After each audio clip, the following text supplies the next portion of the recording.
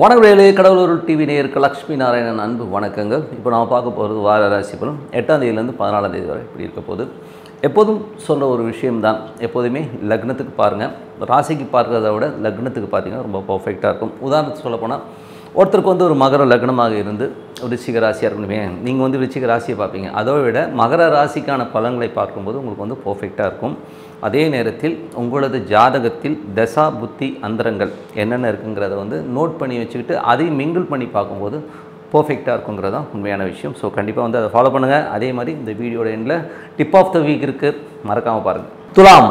துலாம் ராசி எப்படி இருக்குன்னு பார்ப்போம். ஸோ துலாம்ங்கிற போதே உங்களுக்கு வந்து வியாபாரம் வியாபாரம் சார்ந்த விஷயங்கள் மைண்டில் ஓடிக்கிட்டே இருக்கும். சரி நீங்கள் எங்கே வேலை பார்த்தாலும் சரி எங்கே இருந்தாலும் உங்களுக்குன்னு ஒரு கால்குலேஷன்ஸ் கண்டிப்பாக இருக்கும். ஸோ அதுதான் வந்து துலாம் ராசியுடைய ஒரு பெரிய ப்ளஸ் பாயிண்ட் இதில் வந்து துலாம் ராசிக்கு ஒரு பெரிய ஒரு காமெடியான ஒரு விஷயம் என்னென்னா துலாமுக்கும் ரிஷபத்துக்கும் ஆப்புங்கிறது வந்து யாரும் வெளியிலேருந்து அடிக்க வேண்டாம். ஸோ இவங்களுக்கு இவங்களே வந்து செல்ஃபாக ஆப்பு வச்சுக்கிறதுங்கிறது வந்து துலாம் ராசியோட ஸ்பெஷாலிட்டி அதுவும் வந்து பார்த்திங்கன்னா துலா லக்னமாக இருந்து சுக்கிர திசை புத்தி அந்தரனுக்கு ரொம்ப ரொம்ப கவனமாக இருக்க வேண்டிய ஒரு காலகட்டங்கள் தான். ஏன்னா உங்களுக்கு வந்து உங்களது ராசி அதிபதி எட்டியில் இருக்கும்போது நீங்களே செல்ஃபாக போயிட்டு ஒரு அம்பை வந்து நீங்களே வேலையை கொடுத்து வாங்கிட்டு ஐயோ குத்துதே கோடையுதுன்னு எகிறதுக்கான குதிக்கிறதுக்கான வாய்ப்பெல்லாம் கொஞ்சம் கவனமாக இருக்கணும். ஸோ அது வந்து சுக்கிர திசை புத்தி அந்தரம் நடக்கிறவங்க துலாம் லக்னமாக இருக்கிறவங்க ரொம்ப பாதிப்புகள் அதிகமாக இருக்கும். அதே மாதிரி உங்களுக்கு ராசியிலே கேது இருக்கார். ஸோ ராசியிலே கேது இருக்கும்போது பார்த்திங்கன்னா நிறைய கிரகங்களுடைய பார்வையும் நிறைய கன்ஃபியூஷன்ஸ் இருக்கும். வாழ்க்கையில் வந்து எந்த ஒரு டெசிஷன் எடுக்கும்போது கொஞ்சம் கன்ஃபியூஷன்ஸ் இருக்கும். ஏன்னா அந்த டெசிஷன் இருக்கிறத விட நம்ம ஒரு விஷயத்தை இறங்கும்போது இந்த கன்ஃபியூஷன் ஏன் வருதுன்னா நான்கு கிரகங்களுடைய பார்வை மற்றும் கேது வந்து அந்த ராசியிலே இருக்கும்போது ஏடாகூடமான எண்ணங்கள் ஏடாகுடமான விஷயங்களை பற்றி யோசிச்சுக்கிட்டே இருப்பீங்க. இப்படி ஆகிடுமா அப்படி ஆகிடுமா கன்ஃபியூஷன் வரும் இது ஒரு ஒரு மாத காலகட்டங்கள் தான் இருக்கும். ஸோ ஒரு மாதத்துக்கு அப்புறம் எல்லாமே சரியாயிடும். அதனால் முக்கியமான டெசிஷன்ஸ்லாம் இப்போ எடுக்காமல் இருக்கிறது ரொம்ப ரொம்ப நல்லது.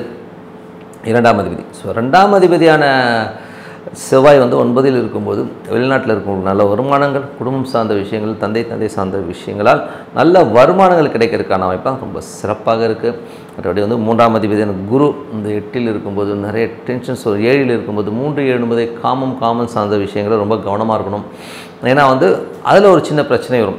ஏதாவது மூணு ஏழு காமம். நம்ம தேடி வந்து சில வம்புகள்லாம் வரும். ஸோ அதனால் கொஞ்சம் உஷாராக இது ஆண் பெண் ரெண்டு பேருக்குமே வந்து பொருந்துங்கிறது தான் உண்மையான விஷயம்.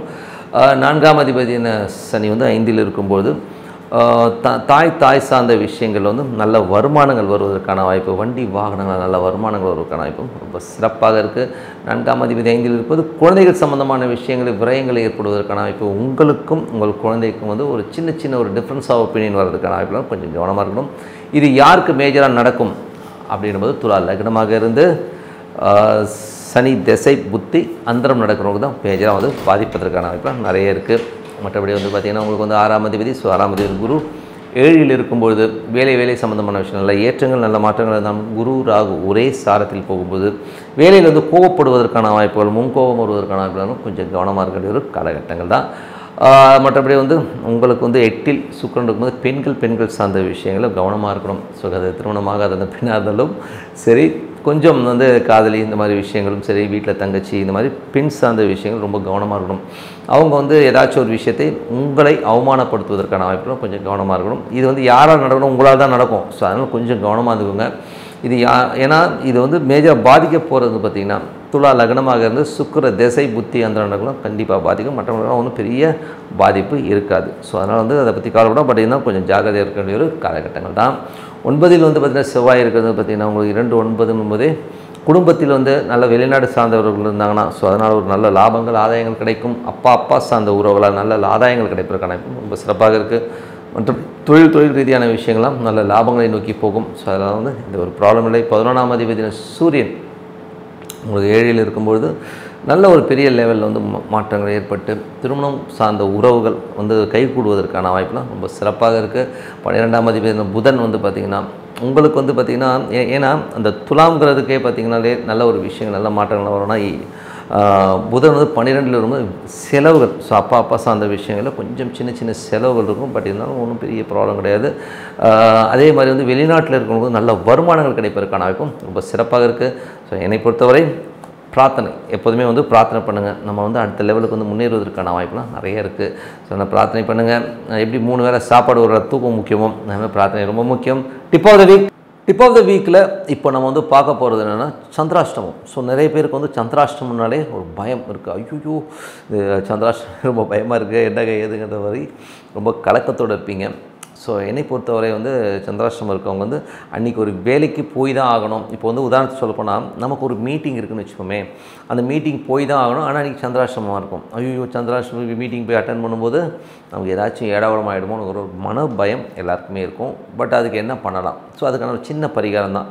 ஒன்றும் இல்லைங்க ஒரு சின்ன பாட்டிலில் ஒரு ஒரு தண்ணி அதில் கொஞ்சம் உப்பு சர்க்கரை ரெண்டுத்தையும் கலந்துக்கோங்க. ஓகேங்களா? கலந்துக்கிட்டு அதை வந்து கையில் வச்சுக்கோங்க.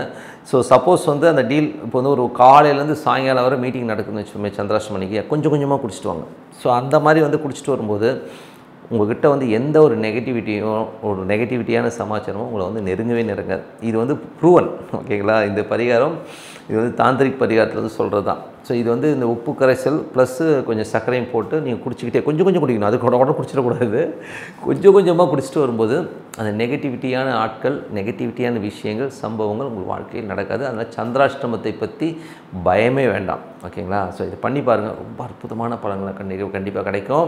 So tip of the week உங்களுக்கு கண்டிப்பாக பிடிச்சிருக்கும்னு நினைக்கிறேன். ஸோ என்ஜாய் ஸோ எல்லோருக்குமே இந்த வாரம் மட்டுமல்ல வருகின்ற எல்லா வாரம் சிறப்பாக அமைய இறைனை பிரார்த்திக்கும் உங்களிடம் விடைபெறுவது உங்கள் லட்சுமி நன்றி வணக்கம். கடவுள் அருள் டிவியை பார்த்தமைக்க நன்றிகள். மேலும் இது போன்ற தகவல்களை தெரிந்து கொள்ள கடவுள் அருள் டிவியை சப்ஸ்கிரைப் செய்யுங்கள். மறக்காமல் பெல் ஐக்கானை கிளிக் செய்யுங்கள்.